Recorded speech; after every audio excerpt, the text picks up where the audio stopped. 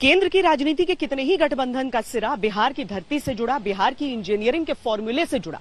लेकिन आज की तारीख में सबसे बड़ा सवाल जो विपक्षी एकता को लेकर उठता है वो ये कि गठबंधन यूपीए होगा, यानी कि उसकी अगुवाई कांग्रेस द्वारा की जाएगी, या फिर एक तीसरा मोर्चा होगा।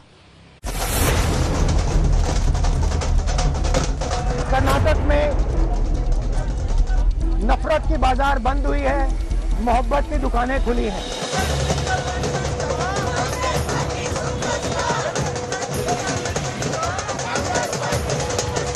जनता अब जागरूक बन गई है। वो ऐसी राजनीति नहीं चाहती जो अपना ध्यान भटकाए। कर्नाटक के नतीजों ने कांग्रेस में नई जान भरी है। लेकिन राष्ट्रीय स्तर पर अगर विपक्षी दलों के बीच कोई आम सहमति बनती है तो कांग्रेस की भूमिका क्या होगी? विपक्षी गठबंधन के सामने पहला और सबसे बड़ा सवाल यही है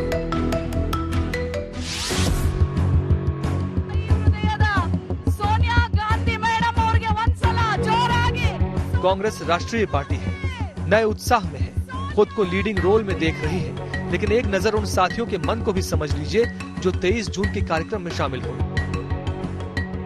ज़्यादा से ज़्यादा विपक्ष जो लाइट माइंडेड पार्टीज़ जो हैं उन सबको जो है गोलबंद किया जाए एक साथ बैठा जाए। कि अब ज़िम्मेदारी कांग्रेस की बनती है कि रीजनल पार्टीज़ को आगे करें और उनके साथ खड़े हों जिससे भारतीय जनता पार्टी का मुकाबला किया जा सके। बात सिर्फ़ इतनी नहीं, बल्कि विपक्षी एकता के अलमबरदारों के सामने एक बड़ा काम ये भी होगा कि कांग्रेस के साथ अखिलेश, केजरीवाल और ममता को कैसे राज़ी करेंगे? सीताराम येचुरी और डी राजा के साथ आने के लिए ममता कैसे मानेंगी?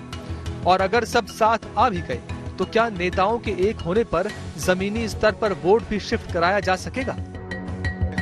तो इससे बिखरी हुई पार्टी एक सरकार कैसे देगी ये जनता देख रही है। जो परिवार निष्ठ पार्टियाँ हैं वहाँ कोई परिवार के खिलाफ बोल सकता है क्या? ये एक ऐसी मोहब्बत है जो सिखों का नरसंहार करे चारा लूटने वालों के साथ हाथ मिलाए। कांग्रेस मोहब्बत की दुकान के संदेश के ज़रिए एकता के सूत्र का सिरा अपने हाथों में रखना चाहती है। लेकिन 23 जून की बैठक के साथ उसके सामने कई सवाल भी होंगे। एक, राहुल गांधी मोदी के मुकाबले विपक्ष का चेहरा बन सकेंगे या नहीं? दो, क्या यूपी में अखिलेश राहुल गांधी को लेकर सहज हो जाएँगे?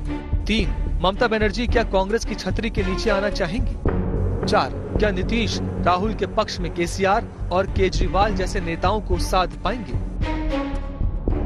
We have a group of people in India who are absolutely that they know everything. In fact, I think they think maybe they know even more than God.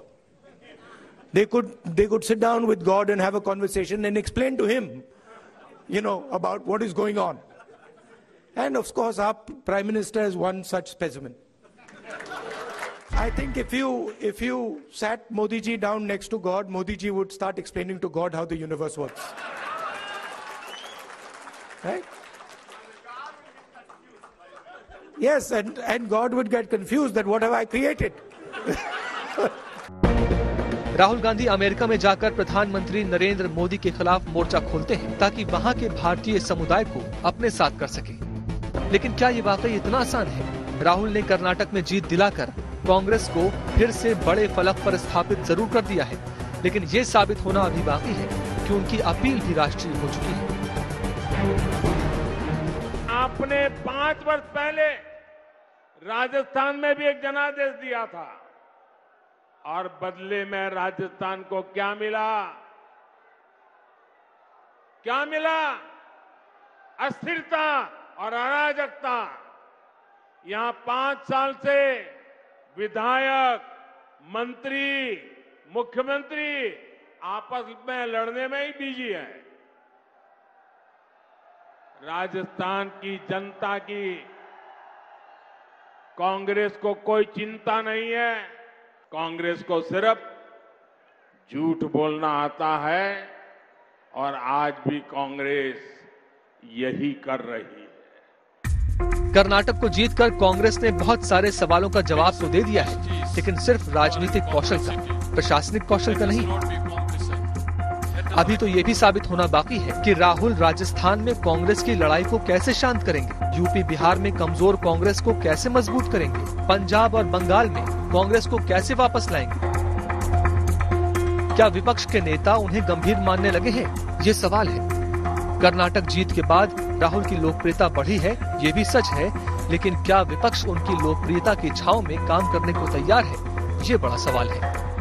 अधिक से अधिक पार्टियों को पूरे देश में एकजुट करने का प्रयास करना और उसके लिए हम लोग अपना कोशिश करेंगे, सब लोग एग्री करेंगे, वो सब लोग बैठेंगे और एक साथ हम लोग आगे का काम करेंगे, मिलकर के चलेंगे, ये बात तय हो गई है। जब जब पीएम मोदी के खिलाफ कौन का ज़िक्र आता है, ये सवाल सबसे बड़ा होता है कि क्या राहुल गांधी सर्व स्वीकार्य हैं?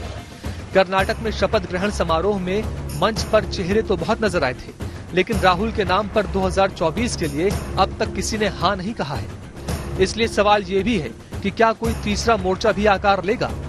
कांग्रेस विजय के उत्साह में लबरेज ये विपक्ष राहुल के राजनीतिक भाग्य के लिए साथी भी है और चुनौती भी